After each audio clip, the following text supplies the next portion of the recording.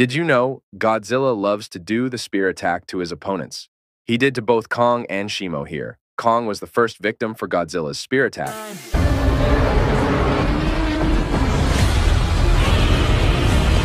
Then Shimo.